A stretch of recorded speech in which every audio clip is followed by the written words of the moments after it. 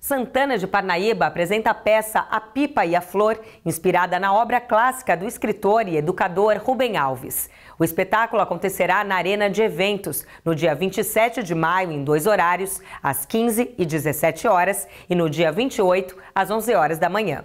A entrada é gratuita.